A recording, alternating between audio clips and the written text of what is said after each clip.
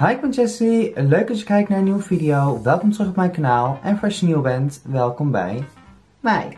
Deze video is mijn tweede Action Fleek or Fetch. Ik ga in deze video Action Make-up testen. Volgens mij als tweede Fleek or Fetch heb ik Action Make-up getest. Echt meer dan een jaar geleden. En dat is ook meteen mijn meest gehate video. De video met de meeste negatieve comments.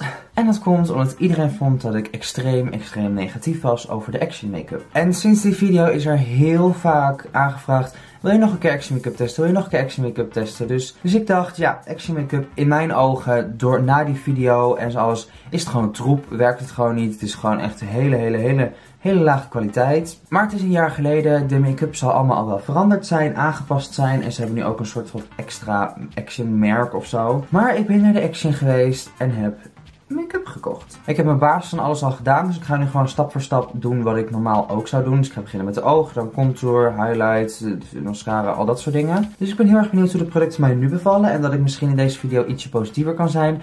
Maar ik wil ook even zeggen, ik ben over alles wat ik test, over alles wat ik zeg, ik ben eerlijk. En ik snap dat jullie goedkope make-up willen. Jullie willen make-up die gewoon echt betaalbaar is voor als je op de middelbare school zit en alles. Dus dan snap ik dat je snel naar action make-up wil gaan. Maar als het in mijn ogen slechte make-up is, ga ik niet omdat jij graag goedkope make-up wil zeggen... Oh nou nee, dit is echt best wel goed hoor, want uh, het is eigenlijk maar 2 euro, dus het is best wel goed. Ik denk, nee, als ik er niet een goed resultaat mee krijg, is het in mijn ogen fout. En ook is het dan 2 euro, is het 20 euro, is het 20 cent, vind ik het geen goed product en ga ik het niet nog een keer in mijn leven gebruiken. Dus ik ben gewoon over alles eerlijk. En of je dat nou leuk vindt of niet leuk vindt, je bent op mijn kanaal, je kijkt naar mijn video, dus anders. Dus allereerst gaan we beginnen met de ogen. En voor de ogen heb ik dit palet gevonden. Ze hadden, volgens mij is dit nieuw, of in ieder geval redelijk nieuw. Ik heb het in ieder geval nog nooit eerder gezien. En dit is het Max More 24 Eyeshadow Palette. En ik zag deze en ik heb hem even in de winkel, heb ik er even eentje opengemaakt. Omdat ik heel erg benieuwd was hoe het eruit zag. Want ik denk, ja, ik wil er wel enigszins een beetje een goede look mee kunnen maken. Maar zo ziet het palet eruit. Het ziet er best wel gewoon goed en sleek uit. En achterop staat dit, niet heel veel bijzonders. En als je het palet openmaakt, ziet het er zo uit. Op zich best wel mooie kleurtjes. En bijvoorbeeld je hebt hier een, heb je een hele erge shimmer. Je hebt matte kleuren, je hebt shimmerkleuren. En dat vond ik belangrijk. Ik denk, ik moet matte kleur hebben, ik moet shimmerkleuren hebben om een volledige look mee te kunnen maken. Dus ik ga hier gewoon een look mee maken.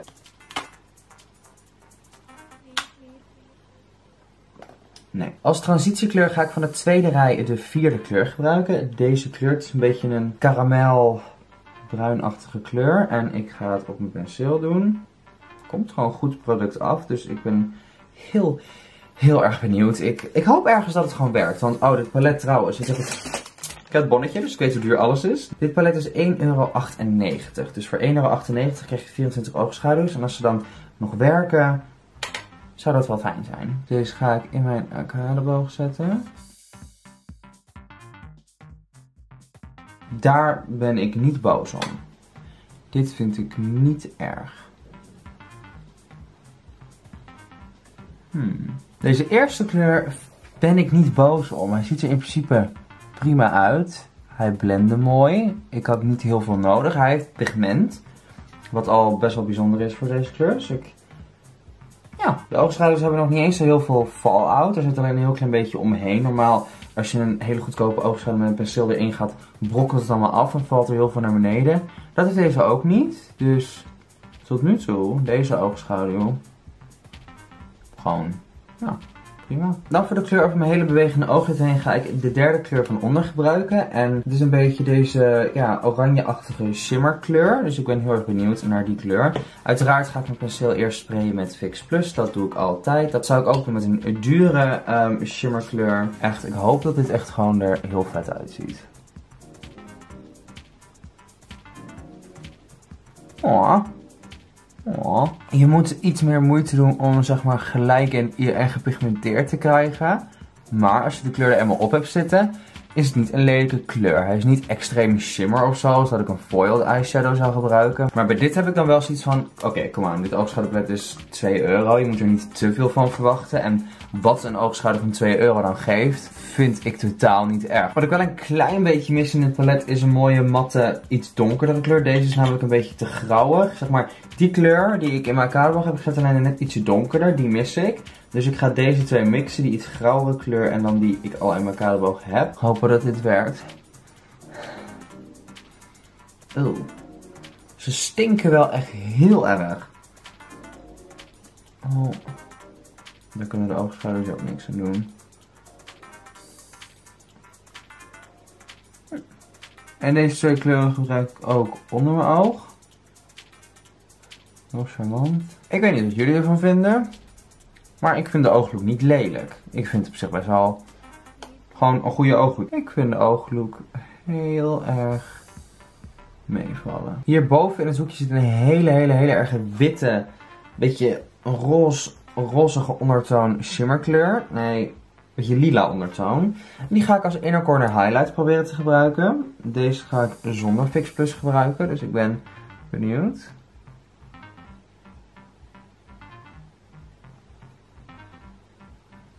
Als deze groter was geweest, was het volgens mij echt een super mooie highlighter geweest. Oké, dus dit is de ooglook. Ik, ik ben tevreden over de ooglook. Het is allemaal goed geblend. Het ziet er allemaal goed geblend uit. Ik vind de kleuren mooi. De shimmerkleur had iets meer shimmer mogen zijn. Maar ik snap dat ze voor deze prijs niet echt een foiled eyeshadow kunnen maken hoe ik ze normaal gebruik. Maar wat ik nog wel kan proberen om ietsje meer shimmery te krijgen. Ik heb namelijk ook twee highlighters gekocht. En dat zijn deze. En deze lijken heel erg op de Shimmer Bricks van uh, Bobby Brown. Deze heeft ook een beetje een oranje kleur. Gelijk aan die ik nu op heb. Maar deze ziet er veel meer shimmery uit. Dus ik ga deze gewoon proberen. Kijk, die middenste kleur Ziet er echt super shiny uit. En ik hoop niet dat het dan een laag is. Ik hoop dat hij gewoon helemaal doorheen is. Maar het is een highlighter, dus ik denk het wel. Dus ik ga met hetzelfde kwastje. Ik ga hem wel één keertje sprayen, omdat het is gewoon een soort van ja, gewoonte of zo. En dan kijken wat dit doet. Oeh, ja. Die maakt hem een stuk meer shimmery.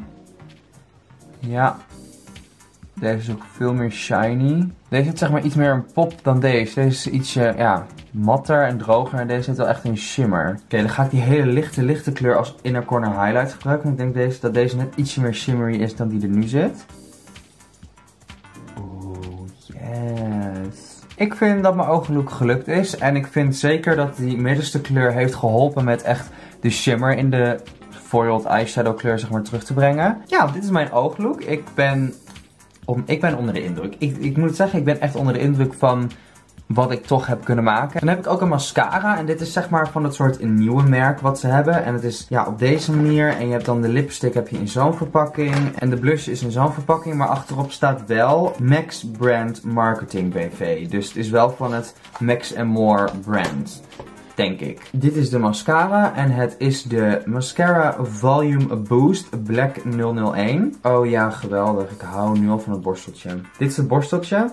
Ik hou van dit soort borsteltjes. Ik vind echt die plastic borsteltjes zoals de Rollerlash van Benefit vind ik geweldig. Dit soort borsteltjes gebruikte ik op de middelbare school. Dit vond ik echt geweldig. Heel lang geleden heb ik een mascara van Action gehad. En die had ook zo'n borsteltje. En die vond ik ook helemaal geweldig. Dus ik hoop echt op alles dat deze gaat werken. Dus we gaan een laagje aanbrengen. Ik ga eerst kijken wat ik met deze mascara zelf kan, voor elkaar kan krijgen. En anders kan ik altijd nog nepwimpers opplakken. Maar ik ga eerst mijn wimpers zo groot mogelijk proberen te maken met deze mascara. Dit is één laagje. Um, ja, het is in principe gewoon een goede mascara. En hoe duur was deze?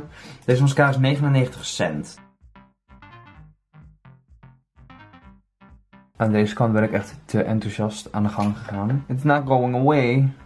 Nou ja, anders ga ik mijn concealer weghalen, dat wil ik ook niet. Maar jongens, ik ga nu aan de bovenkant een tweede laag doen. Kijken of ik hem kan opbouwen, want dat hoop ik eigenlijk wel. Sommige mascara's gaan dan heel raar doen en worden dan heel lelijk. Je kan hem zeker opbouwen. Hij gaat wel iets meer aan elkaar geplakt zitten. Maar je kan hem zeker opbouwen. Hij heeft wel echt super erg getransferred in mijn crease daar. Gewoon de puntjes van mijn wimpers hebben het daar aangeraakt. Dit is de mascara. Dit zijn op allebei de wimpers twee lagen. Uh, ik vind het wel een mooie mascara. Het is gewoon een prima mascara. Hij is 99 cent. Hij is mooi zwart. Nu gaan we door naar contour. Ik heb alleen nog maar een cream contour als basis gebruikt. Wat ik eigenlijk altijd doe. Ik doe er altijd nog een contour overheen. Maar dit is gewoon zodat mijn contour niet heel vlekkerig wordt. Want 9 van de 10 keer is mijn contour als ik er geen cream contour als basis onder doe heel erg vlekkerig. En voor contour heb ik dit paletje gevonden. En dit is de Max More Highlight Foundation Contour en Blush palet. Het palet ziet er precies hetzelfde uit. En als je hem openmaakt heb je acht hele mooie kleuren. Twee blush kleuren. We hebben dan contour kleuren, twee foundation kleuren en twee highlighters. Dit zou ik niet als highlighter gebruiken, maar Het is een shimmerkleur, dus het zal een highlighter zijn. Denk dan voor hele, hele donkere mensen. Maar voor contour ga ik deze kleur gebruiken. En ja, ik ga het proberen. Ik ben heel erg benieuwd met mijn Morphe M527 en ik ga er gewoon doorheen. Ze zijn niet heel poederig, dat is wel fijn. Normaal zijn zeg maar goedkope poeders, als je er overheen gaat, redelijk poederig. Deze vallen mee. Ik ga hem wel aftikken. En dan... Ziet er in principe prima uit. Het ziet er niet raar uit of zo. De kleur is ook wel goed. Moet ik kaak een beetje doen. Diezelfde kleur ga ik met de Morphe E13 ook gebruiken voor mijn neuscontour. Dus ik ga daar heel voorzichtig langs.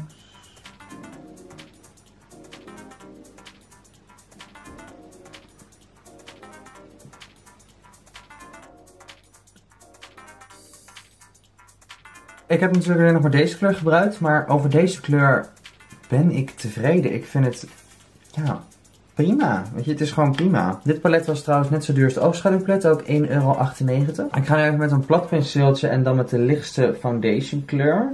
Ga ik er even goed op doen en dan ga ik proberen mijn contour wat strakker te maken. Op deze manier.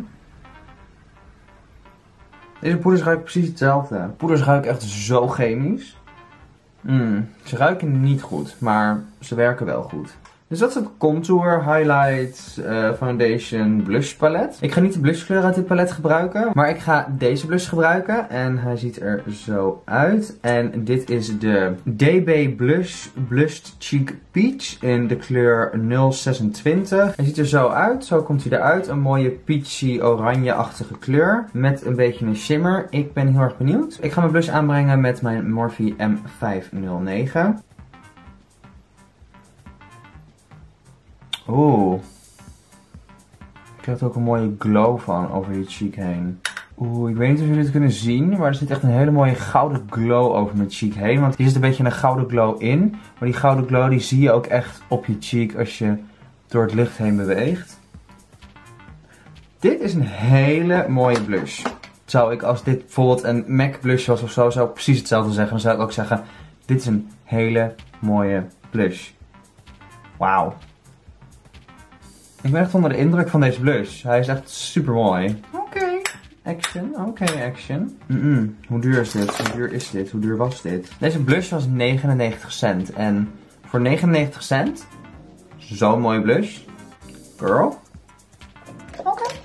Dan hebben we dus de twee highlighters. Nu gaan we natuurlijk een highlighter doen. En deze heb ik al gebruikt. Maar deze was ook een beetje te donker. Daar zit een beetje die bruine tint aan de onderkant en zo. Dat is natuurlijk veel te donker. Dan zou ik alleen die lichte kleur kunnen gebruiken. Deze is in de kleur 01 Nude. Maar ze hadden ook de kleur 02 Pink. En dat is in principe hetzelfde. Alleen dan zijn de kleuren hieronder zeg maar pink. Dus deze ga ik voor mijn highlighter gebruiken. En zo ziet deze eruit. Ik denk dat ik gewoon de bovenste twee kleuren een beetje als highlighter ga gebruiken. En ik ga hem aanbrengen met mijn Kruidvat Brush. Er komt veel af, dus ik ben heel erg... Ik verwacht er nu dus heel veel van, hè. Omdat hij op mijn oog ook zo mooi is, verwacht ik nu als highlight, verwacht ik er heel veel van. Fuck me. Er zit een volledige roze shimmer overheen, maar... Is een highlighter! Jongens! Hij was 1 euro. 1,89 euro. Bij nader inzien had ik misschien toch beter deze kunnen gebruiken. Want hier zit echt over ook de witte, over alles een roze shimmer. En ik heb alles een beetje peachy en mijn ogen ook een beetje oranje. Dus had ik misschien beter de wat oranjere kleuren kunnen gebruiken. Maar deze highlighters zijn echt goed. Ik gebruik, echt, ik gebruik alleen zo de bovenste twee kleuren. De onderste niet. Oh, ook een beetje van de onderste. Oh, die onderste roze is echt heel erg roze. Oh. Deze twee zijn echt goed. Dit zijn highlighters die ik gewoon zou gebruiken. We hebben nog één product. En die kan nog falen. Dus ik hoop het niet. Want als dit niet faalt, als het lipproduct niet faalt, heeft alles gewerkt. En is alles positief. Maar ik heb een lipproduct. En dit is de een long lasting in de kleur Rose 343. En dat ziet er zo uit. En je hebt dus hier de lipstick en aan de onderkant heb je de lipgloss. Ik vond deze kleur heel mooi, daarom heb ik uiteraard deze gekozen. Maar ik heb geen idee of dit gaat werken. Hij ziet er in ieder geval zo uit. Hier heb je de lipstick kleur. Een hele mooie kleur. En dan heb je aan deze kant de lipgloss. Oké. Okay. Oh. Dit is heel raar. Dit ruikt naar snoepjes en tonijn door elkaar heen. Je weet tonijngeur. En dan moet je aan hele zoete snoepjes denken. Die geur samen. Ja, dat is dit. Dit is tonijn snoepjesgeur. Hoe de fuck hebben ze dat voor elkaar gekregen? Tonijn en snoepjes door elkaar. Ik ga de lipstick aanbrengen en dan ga ik de gloss... Weet ik niet of ik die eroverheen ga doen, want ik heb niet zo'n zin in vis onder mijn neus. Maar we gaan de lipstick aanbrengen.